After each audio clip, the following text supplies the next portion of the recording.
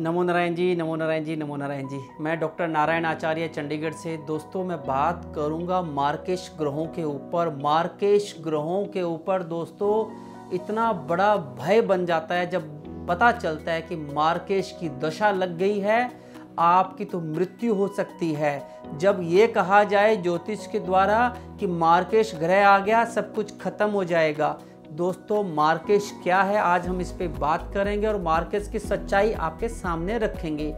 कुंडली में south Indian astrology, जो भारत से, दक्षिण भारत की ज्योतिष और नॉर्थ इंडियन, यानी कि उत्तर भारतीय ज्योतिष में भी बहुत ज़्यादा दोस्तों डिफरेंसेस हैं। बहुत ज़्यादा फ़र्क है। साउथ इंडियन ज्योतिषी जो हैं, वो दोस्तों, तीसरे भाव को और छठे भाव को भी मार्केश मानते हैं। कुछ जगह पे दूसरे भाव को और सप्तम भाव को मार्केश माना जाता है, कुछ जगह पे अष्टम को और बारहवें को भी माना जाता है। हालाँकि द्वितीय तृतीय षष्टम, सप्तम, अष्टम और द्वादश, ये दोस्तों जो भाव हैं ज्योतिष में, वो मार्क भाव कहलाएँगे।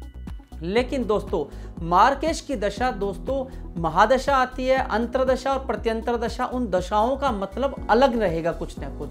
लेकिन जब पूर्ण मार्केश की बात आती है दोस्तों, या जो मार्केश भी इसमें पॉइंट है, देखो इसमें भी गहराई में जाएँगे तो पता चलेगा। जो मान लीजिए, अब अब कुंडली कहती है, ज्योतिष का जो मेरा अभी तक का अनुभव रहा है सेकंड भाव, यानी दूसरा भाव, जन्म लगन कुंडली में दूसरा भाव और जो सातवां भाव, जब दोनों के ग्रह राशि परिवर्तन कर लें, यानी सप्तम भाव का कारक, सप्तम भाव का जो मालिक, सप्तमेश, सप्तम भाव का स्वामी, जब आपका द्वितीय में आ जाए और द्वितीय भाव का स्वामी यदि सप्तम में आ जाए, जब दोनों एक्सचेंज हो जाएँ तो यहाँ पर मृत्यु योग, यानी मार्केश की दशा बनती है।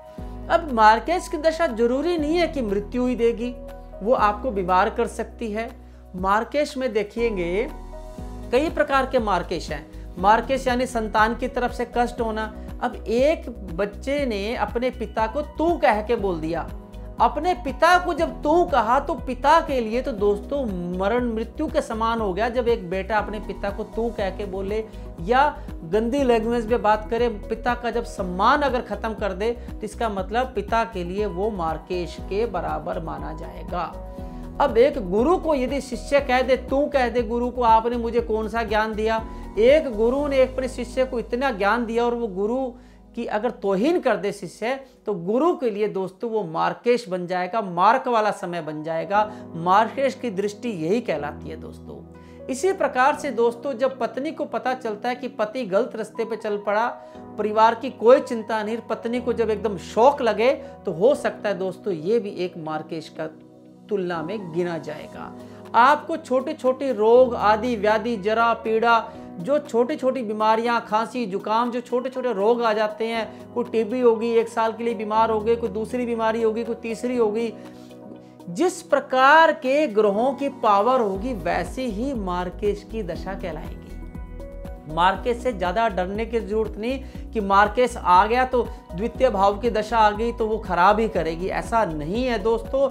इसमें भी पॉइंट है कि उस ग्रह की डिग्री कितनी है, उस ग्रह की पावर कितनी है। अगर इन सारी चीज़ों को अगर आप ध्यान में रखेंगे तो आपको पता चलेगा कि ये मार्केश आपके लिए मार्क नहीं होगा, वो बिल्कुल ठीक रहेगा।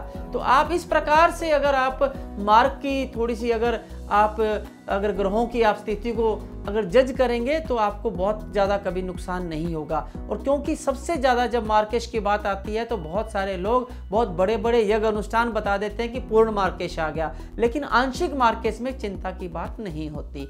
आंशिक मार्केश, पूर्ण मार्केश, बहुत ज़्यादा फ़र्क होता है दोस्तों। लेकिन जब भी मार्केश की दशा आती है दोस्तों, आपको महामृत्युंजय की पूजा करनी चाहिए, भगवान शिव का स्वयं जाप करना चाहिए। और आपको अपने इष्ट देव का स्मरण करना चाहिए। माता पिता की सेवा में कोई कमी नहीं छोड़नी चाहिए। जब भी अगर आपको मार्केश की दशा जीवन में कभी आती है, किसी भी पड़ाव में, किसी भी उम्र में आती है दोस्तों तो उस समय आपने शिव पूजा करनी है। गरीब लोगों को जो आपके मजदूर लोग हैं, उनको आपने ज़रूर जो है खाना खिलाना होता है। मेहनत कश इंसान को, भिखारियों को नहीं मेहनत कश इंसान को दान पुण्य किया जाए। दोस्तों ये छोटा सा एक एपिसोड हमने बनाया आपके लिए कि मार्केश की दशाओं से ताकि आप घबराएँ ना और आपको एक सही रास्ते में सही उपाय मिल जाए।